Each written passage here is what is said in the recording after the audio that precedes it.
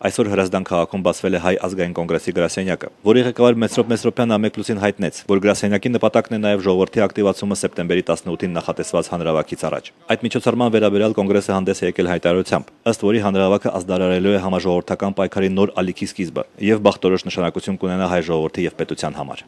Սոցիալ-դեմոկրատ հնչակյան կուսակցության ներկայացուցիչ Վահան Շիրխանյանը դեմ է հայ-թուրքական մերձեցմանը, որովհետև այդպիսով վնասվելու են մեր հարաբերությունները Ռուսաստանի հետ։ Թուրքիան պետք է հանի ՆԱՏՕ-ի զորքերը իր տարածքից, եթե Ռուսաստանը հանում է իր զորքերը։ Եթե դուք պնդում եք, որ Ղարաբաղից պետք է հայկական զորքերը դուրս գան, Ես էլ պնդում եմ, որ Կիպրոսից պետք է թուրքական 40000-անոց բանագլուս կա։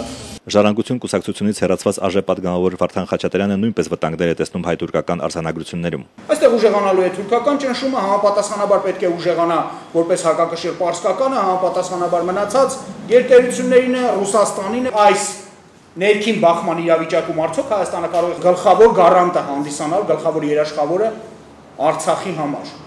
Արդյունաբերողների եւ գործարանների միության նախագահ Արսեն Գասպարյանը ողջունում է վերջին հայ-թուրքական արձանագրությունները, որոնք նրա կարծիքով ոչ մի անմիջական վտանգ չեն պարունակում։ Հետագայում իհարկե անհրաժեշտ կլինի անվտանգության միջոցներ ձեռնարկել, որպեսզի տարանցիկ երկրի հնարավորությունից չօգտվեն մաքսանենգերը։ Իսկ Հայաստանի հասարակությունը ըստ գործարարի միանշանակ շահելու է։ Հոգեբանական այն բարդույթ է, որ Արարատից այն կողմ աշխարհ չկա, փակ է այս կաղապարվածությունը, հա, մեր հասարակության վրայից դուրս կգա։ Երթերեկության կանոնները խախտելու համար պետք է պատժվեն ոչ միայն վարորդները, այլև հետիոտները։ Օրինակ փողոցը սխալանցնելու համար հետիոտնը կարող է տուգանվել 3000 դրամով, սակայն ոստիկանության տվյալներով անկախ Հայաստանի 18-ամյա պատմության ընթացքում առայժմ ոչ մի հետիոտն չի տուգանվել։ Մեր քաղաքացիները տեղյակ էլ չեն, որ փողոցն ահա այսպես անցնելու համար կարող են պատժվել։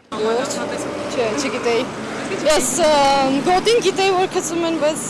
դա չէ։ Հետիոտնի համար չէի իմացա, մեքենանի ռեմենների մասին լսել էի։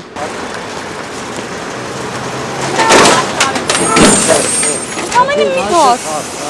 Papetje. Oh, gut, verpetzt.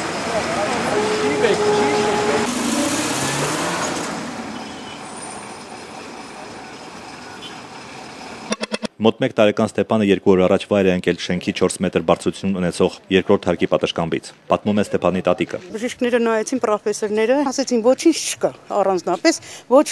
ուղեղի հետ, ոչ օրգանների։ Անկամ չէին հավատում հիվանդանոցում, որ էսի 4 մետր բարձրությունից ընկել է ու ոչ մի քերծված, ոչ մի բան չունի։ Իսկ հարևանուհու գնահատականը հետևյալն է։ Սովետի ժամանակ մեզ ասում էին հրաշք գոյություն չունի, բայց սա հրաշքի նման մի բան է։ Հրաշք, որ մի տարեկան երեխան քերծված կանգամ չի ստացել։